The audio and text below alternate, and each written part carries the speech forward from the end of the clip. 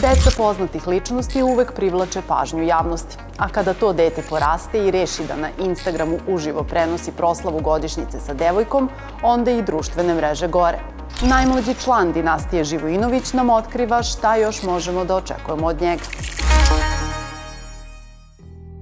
Sa azurne obale na Savsku, sa jahte na avion, pa na otvaranje sobstvenog splava – Viktor je letovanje proveo na krstarenju sa devojkom, ali i svim ostalim Živojinovićima.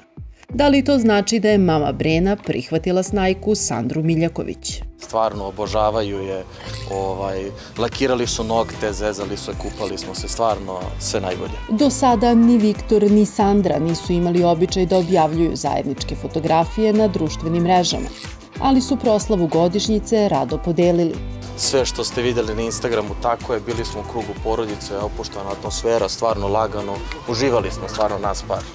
Iako mediji pišu da već planiraju svadbu sa 500 zvanica, Viktor kaže da je još rano da priča o tome. Trenutna situacija mu je sjajan izgovor da izbegava ovu temu. Pa vidjet ćemo o tom potom, lagano. Svako ne možemo da planiramo svadbu zbog korone. Najmlađi član dinastije Živojinović nastavlja da širi njihovu poslovnu imperiju. Nakon restorana otvorio je i splav. Mama Brena ga inače podržava, ali sada smatra da je loš trenutak.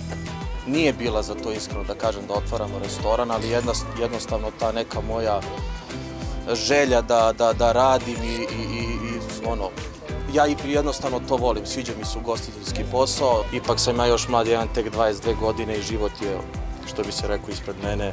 Hoću sve da probam pomalo, pa ko zna šta može se desiti za 30 godina da otvorim nešto i samo opet, pa ćemo videti. Iako je cela porodica, tako reći, u muzici, Viktor ne očekuje ni od mame, ni od brata, niti od snajke da pevaju u njegovim lokalima. Ako ste propustili neke viralne priče, možete ih uvek pogledati na našem YouTube kanalu. Čekamo vaše komentare, predloge i kritike. Pišite nam na viraletmondo.rs. Doviđenja!